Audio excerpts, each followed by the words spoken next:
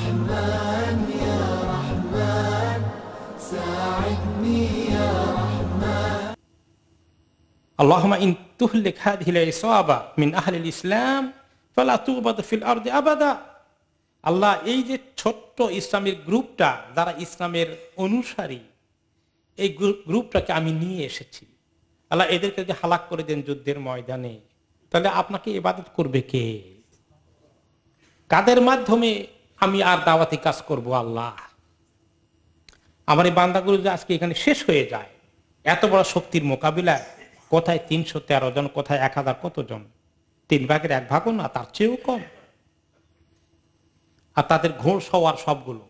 আর এখানে মাত্র এক, দুই জনের ঘোড়া- ছিল, বাকি অল্প কয়েকজন উঠছিল সব পদাতিক। পদাতিক পায়ে চলে ঘোড় সওয়ারের সামনে কতক্ষণ টিকতে পারবে? এই মিসকিন, এই দুর্বলতা নিয়ে তারা এগিয়ে এসেছেন, হিম্মত করেছেন। আল্লাহ তাদেরকে আপনি সাহায্য করেন। এরপরে তিনি।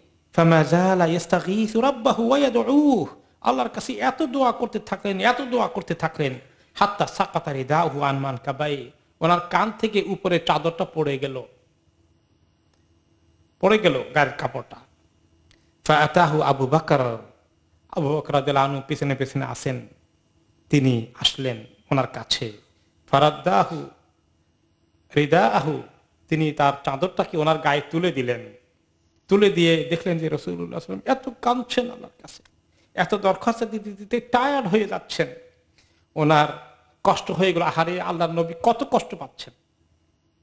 তিনি ওনাকে পেছন দিক থেকে জড়িয়ে ধরলেন, আর বললেন, ইয়া নবী আল্লাহ, কাফাকা মোনা সাদা থেকে মোনা থেকে রাব্বাক আপনি আপনার রবের কাছে যে দোয়া করছেন, যথেষ্ট দোয়া করেছেন, আমার বিশ্বাস।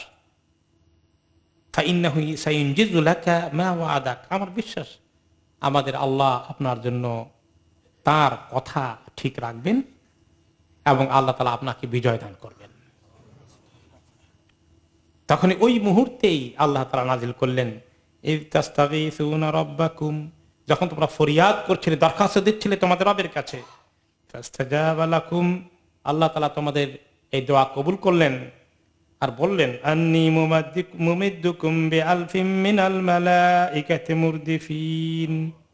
আমি তোমাদেরকে এক হাজার ফেরেশতা পাঠিয়ে দেবো, একের পর এক তারা আসতে থাকবে আর তোমাদেরকে সাহায্য করতে থাকবে।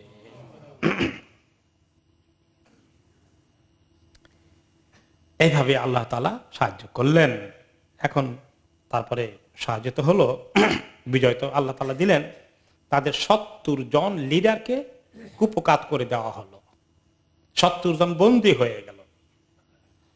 পরিপূর্ণ বিজয় আল্লাহ তালা দান করলেন মুসলমানদেরকে প্রথম যুদ্ধে। তো আল্লাহ তালা বলেন যে, আমি যে বলেছিলাম এক হাজার ফেরিস্তা পাঠাবো তো এক হাজার ফেরিস্তা পাঠানোর দরকার কি? আল্লাহ তালা কোন বললে কি হয়ে যায়? কোন? কমে আদ কমে সামুদকে হালাক করার জন্য কত ফেরস্তা পাঠিয়েছেন? জিবরিল আল ইসলামকে হুকুম দিয়েছেন, টেক অ্যাকশন। তিনি ওনার পাখা দিয়ে এমনি করে যে মৃত সাগর আছে, সেটাকে এমনি করে টুকরাটাকে উঠায় উপরে নিয়ে গেছেন। আসমানের ফেরেস্তারা হাঁস মুরগির চিৎকার শুনতে পাচ্ছে। সেখান থেকে প্রস্তর নিক্ষেপ করতে করতে ধূপ করে উল্টিয়ে ফেলে দিয়েছেন। এক জিব্রাইল যথেষ্ট, এত এক হাজারের দরকার কি? তা আল্লাহ তালা বলেন। আল্লাহ তালা অ্যাডভান্স তোমাদেরকে সুসংবাদ শুনিয়ে দিয়েছেন, যুদ্ধের আগেই বলে দিয়েছেন। এক হাজার ফেরেস্তা তোমাদের পিছনে আসছে, কোনো চিন্তা করো না। তোমাদের জন্য সুসংবাদ দিলাম, মন যেন চাঙ্গা হয়, তোমাদের মোরাল যেন হাই হয়। বলে তাতমা ইন্না বিহি কুলুবুকুম। তোমাদের অন্তরের জন্য খুব ইতমিনান পয়দা হয়ে যায় যে আল্লাহ তো ওয়াদা করে ফেলেছেন পাঠিয়েও দিয়েছেন। আল্লাহ তালা ওয়াদা করেছেন। তো সবসময় না দেখলে তো বিশ্বাস হইতে চাইও হয় না অনেক সময়। আল্লাহ তালা তো আমাদের জন্য বলেছেন ওলা তাহিনী ওলা তাহজানু ও আন্তুমুল আলাউনা ইন কুন্তুম মুমিনিন। কোনো দুশ্চিন্তা করো না, কোনো পেরেশান হয়ে না। তোমরাই বিজয় লাভ করবে যদি তোমরা সত্যিকার মমিন হও। এখন মুসলমানদের দুরবস্থা বিভিন্ন জায়গায় দেখি তো এরকম বিজয় না আসার কারণে এখন বিশ্বাস হতে চায় না। তো আল্লাহ তালা চিন্তা করলেন যে তাদের বিশ্বাস যাতে তোমার যাতে বিশ্বাস হয় ফেরেস্তা পাঠিয়ে দেবে এক হাজার নাম্বার পর্যন্ত বলে দিলাম। নতুবা এই নাম্বার বলা এত নাম্বারের দরকারও হয় না। তোমাদের নিজেদের অঙ্ক করতে সুবিধা হবে। তোমাদের এতমিনান হবে বিদায় এটা বলেছি। কারণ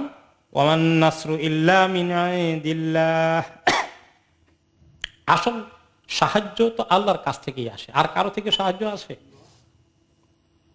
সাহায্য, সত্যিকার সাহায্য একমাত্র আল্লাহর কাছ থেকেই আসে। হাকিম। নিশ্চয়ই আল্লাহ আজিজ এবং হাকিম। নিশ্চয়ই আল্লাহ তাআলা সবচেয়ে বড় সম্মান, ইজ্জতের এবং শক্তির অধিকারী। এবং তিনি সবচেয়ে বড় জ্ঞানী। যুদ্ধ করতে হবে। যুদ্ধ করাটা তো অনেক সময় অনেকে যুদ্ধ চায় না। স্বাভাবিকভাবে বিনা প্রয়োজনে যুদ্ধ করা রক্তপাতের কোনো দরকার নাই। কিন্তু যখন অন্য কম অ্যাটাক করতে আসে, তখন কোন কম যুদ্ধ চায় না বলেন সে কমের নাম? কি বলেন? যখন কোন দেশ অন্য দেশের উপরে চড়াও হয়ে যায়, তখন যদি সবাই বলে যুদ্ধ করেন, রক্তপাত ভালো না। এটা বলবে? তখন তো মোকাবেলা করতে হবে। সমস্ত দুনিয়ার মানুষের ফেতরাতে এই কথা বলে। মুসলিম হোক আর অমুসলিম হোক। কাপুরুষ ছাড়া আর কেউ এরকম চিন্তা করে না। তো আসলে আল্লাহ তাআলা তোমাদেরকে হাকিম, তিনি হচ্ছেন হাকিম। এই যে যুদ্ধ করা লাগবে, এটা যে জরুরি তোমাদের জন্য, এই জ্ঞান আল্লাহর আসে বিধায় তোমাদেরকে আল্লাহ টেনে যুদ্ধের ময়দানে নিয়ে এসেছেন। প্রথমে আবু সুফিয়ানের রসদপত্রের লোভ দেখাইয়া সেখান থেকে আস্তে করে আল্লাহ তালা তোমাদেরকে যুদ্ধের মধ্যে ঠেলে দিয়েছেন আল্লাহ জ্ঞানী আর আল্লাহ আজিজ তিনি ইজ্জতের অধিকারী তিনি শক্তির অধিকারী তিনি ক্ষমতার অধিকারী তিনি যদি সাহায্য করেন তোমাদের ভয়ের কারণ কি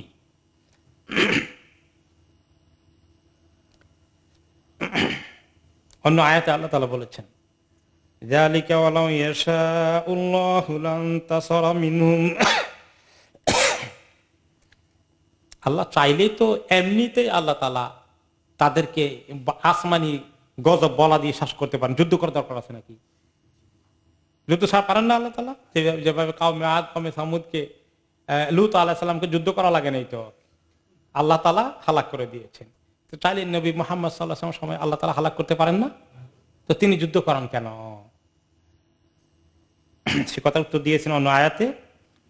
ওলা কেন ইয়াবলু বাদুকুম, বাদাকুম বে বা তোমাদের একে অপরকে আল্লাহ তালা পরীক্ষা করেন।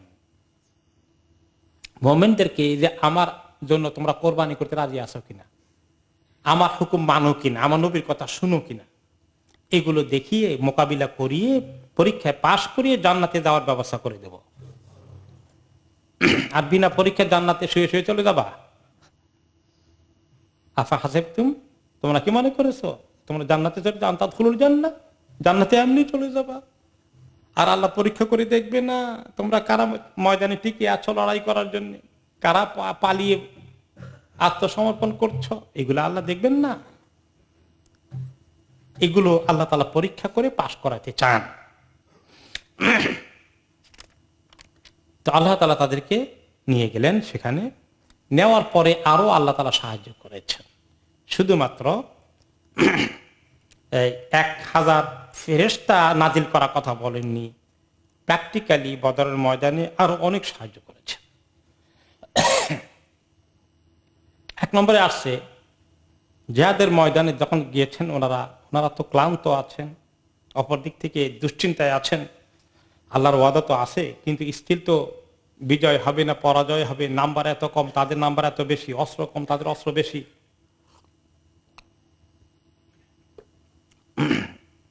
ওই অবস্থা আল্লাহ তালা আরেকটি সাহায্যের কথা এখন পরের আয়তে বলছেন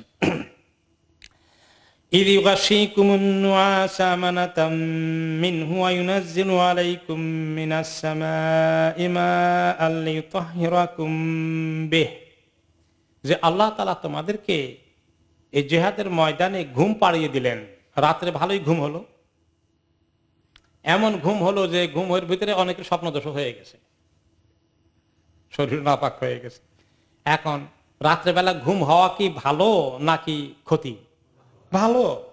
ফ্রেশ, পরের দিন সকালে উঠতে পারবে। তো এই ঘুমটা ঠিক মতো হয়ে গেল। আবার যখন লড়াই ময়দানে গিয়েছে, তখনও কিছু কিছু ঘুম ঘুম ভাব এসেছে। ওই ঘুম দুই রকম। একটা ঘুম হলো শয়তানের পক্ষ থেকে লেজি করা, আর একটা ঘুম হলো যে দুশ্চিন্তা দূর হয়ে গেছে। দুশ্চিন্তা না থাকলে মানুষ ঘুমাইতে পারে। দুশ্চিন্তা থাকলে ঘুমাইতে পারে? তো আল্লাহ এমন দুশ্চিন্তা দূর করে দিছেন তাদের যে তাদের যেন ঘুম পেয়ে যায়, অর্থাৎ তাদের একদম নিরাপত্তার একটা ফিলিং চলে আসে। এটা আল্লাহ তালা এই ফিলিং তাদেরকে দিয়ে দিলেন। ঘুম ঘুম ভাব হয়ে গেল। এমনকি কারও অনেকেরই গোসল ফরজ হয়ে গেল স্বপ্ন দোষের কারণে। এখন গোসল ফরজ হয়ে গেছে, পানি পাবে কোথায়? আরেক মুশকিল। তখন আল্লাহ তালা অঝোর ধারায় বৃষ্টি দিলেন। আলাইকুম মিনাস। এমন বৃষ্টি হলো যে এই বৃষ্টির কারণে ভালো করে শরীর ডোরে টোরে কাপড়ও সাফ হয়ে গেল, শরীরও পাক হয়ে গেল। বিহি। তোমাদেরকে পবিত্র করে ফেললেন আল্লাহ তাআলা। শারীরিক পবিত্রতা আর মনের পবিত্রতা হয়ে গেল, কারও কারও ভিতরে ভয় ঢুকেছিল, ওগুলো দূর হয়ে গেল। শয়তানের নাপাকি দূর হয়ে গেল। স্বপ্ন সমুদ্রে অনেক সময় শয়তানের নাপাকি থাকে। আবার মানসিকভাবে দুর্বলতা, নেফাকি, ভয়, এগুলোও শয়তানে মানুষকে ভয় এনে দেয়। দোনো রকমের ভয় দূর হয়ে গেল। শয়তানের তাসির দূর হয়ে গেল।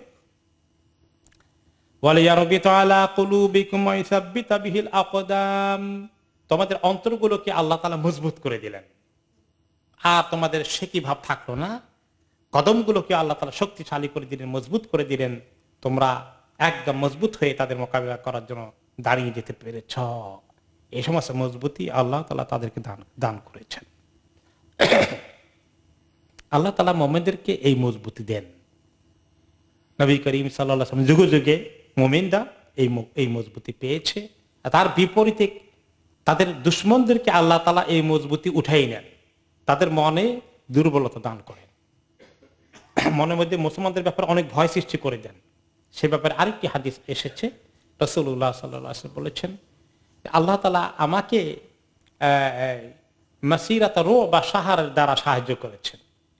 অর্থাৎ আমার সঙ্গে মোকাবিলা হওয়ার এক মাস আগে, এক মাস দূরে আছে তারা, আসতে এক মাস লাগবে।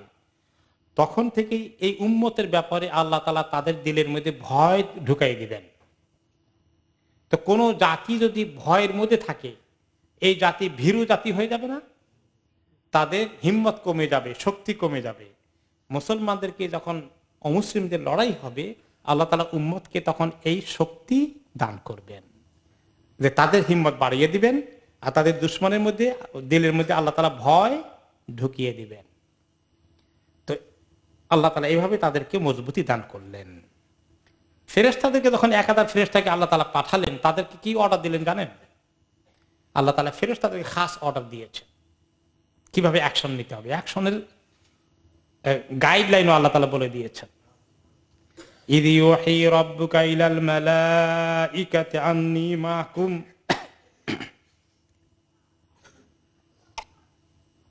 আপনার রব ফেরেস্তাদেরকে ওয়াহি করে বলে দিলেন, আমি তোমাদের সঙ্গে আছি। মোমেনদেরকে মজবুতি থাকার জন্য তাদের সঙ্গে পাশে থাকো, তাদেরকে উৎসাহিত করো। ফেরেস্তারা যখন পাশে থাকেন ফেরেস্তারা যখন দোয়া করেন, তাদেরকে উৎসাহিত করেন, তখন তারা উৎসাহিত হয়। ফেরেস্তাদের উপস্থিতি মোমেনদের মধ্যে ভালো জিনিসের, ভালো কাজের জন্য তাদেরকে উজ্জীবিত করে, হিম্মত পয়দা করে। আর শয়তানের উপস্থিতি কি করে? দুর্বলতা তৈরি করে দেয়। শয়তানের উপস্থিতি বদলে তো ছিল? কার পক্ষে ছিল? শয়তানের উপস্থিতি? আবু জাহালদের পক্ষে। আবু জাহালদের পক্ষে এসে কি বলল? এসে তুমি এখন লড়াইতে নামবা, নিজে সাদা দাঁড়ি টাড়ি নিয়ে বুড়ো মুরব্বী হয়ে সেজে এসেছে। অনেক এক্সপেরিয়েন্স ওয়ালা বলল, আমি শুধু নজ থেকে এসেছি। আমি কিন্তু অনেক এক্সপার্ট যুদ্ধের বিষয়ে। আমার অনেক এক্সপেরিয়েন্স আছে। আমি তোমাদের যুদ্ধের কথা শুনে চলে আসছি। আমি তোমাদের সঙ্গে আছি, তোমরা কোনো চিন্তা করবে না, পেছনের দিকে তাকাবে না। এগিয়ে যাবা, এদেরকে একদম চিরতরে শেষ করে দিবা। আর সবাইকে সে যখন যুদ্ধ শুরু হয়ে গেছে, খুব উৎসাহিত করছে উৎসাহিত করছে উৎসাহিত করছে। আর যখন ফেরেস তারা চলে আসলেন ফেরেশতারা যখন এসে কি অ্যাকশনটা নিবেন, আল্লাহ তালা বলে দিচ্ছেন, সেই অ্যাকশনের দিকে আবার যাই আমরা, এই বাকি অংশে পরে আসছি। আল্লাহ তালা বলেন যে মোমেন্টদেরকে উৎসাহিত করবে আর